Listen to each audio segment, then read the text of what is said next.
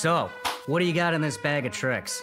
This is the bag that I carry every day. It's got so much in it. We could be here for 12 hours, but we'll make it short. This, well, this is a Wi-Fi adapter. It looks like your standard Wi-Fi adapter. I would use this to send a de-authentication packet to dissociate one of your devices from the network, capture your Wi-Fi, go home, crack the password. This is a device that you would plug into USB. When this plugs in, this has a mini computer inside of it. As soon as this thing gets plugged into a computer or to the internet, first thing it does is try to reach back out to one of my servers. This right here does a lot. You know, I could hack a car, I could capture key fob from, let's say, 200 feet away, or I can, if we were outside right now, I could show you every airplane in the sky or every boat that's in the water, and I could see their call sign and where they're out on the map. You know, if I was a horrible person, I could transmit to an airplane with this device and make it believe that, you know, there's a plane in the wrong direction, and I could, You depending, basically reroute air traffic. yeah, technically you're able to do that. I, there's other things in place to prevent that, but I can, I can definitely cause a problem in the cockpit with this thing. What's your favorite?